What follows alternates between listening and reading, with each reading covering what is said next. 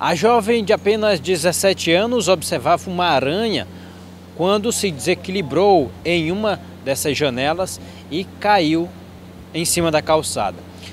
O Corpo de Bombeiros foi acionado. A poucos metros atenderam as ocorrências porque essa, esse local fica a poucos metros do batalhão do Corpo de Bombeiros. E aí os militares foram acionados, imobilizaram a vítima desse acidente e encaminharam então através do serviço móvel de urgência até o hospital da cidade. Quem falou com nossa equipe foi o tenente José Carlos, que fala mais e traz mais detalhes sobre esse acidente. Acompanhe.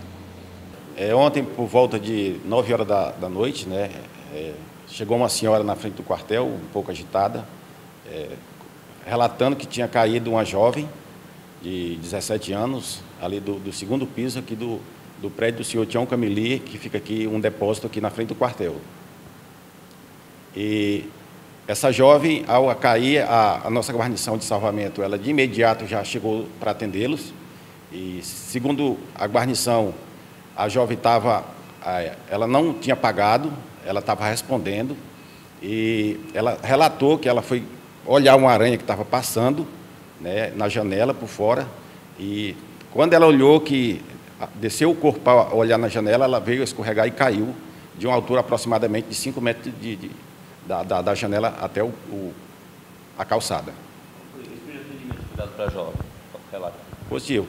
A guarnição chegou e já começou a conversar com ela, ela começou a responder, né? É um bom sinal que ela já não estava apagada e fizeram os primeiros procedimentos, se tinha alguma fratura, ela só estava sentindo muita dor nas costas, tá? E sinal de fratura só se fosse interno, mas é, externamente não tinha. Aí todo, fizeram todo o procedimento, ligaram para a SAMU, a SAMU chegou, é, imobilizaram ela e colocaram na maca e encaminharam para o hospital.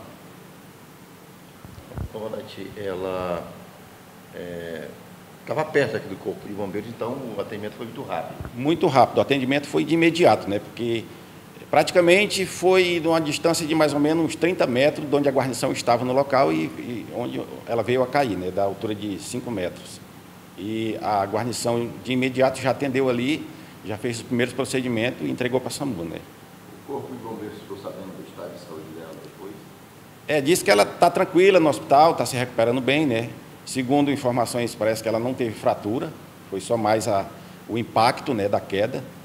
E ela segundo as informações, ela está bem.